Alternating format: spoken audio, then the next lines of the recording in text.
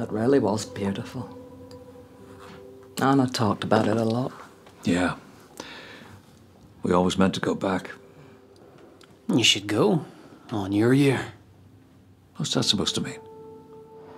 What? My year.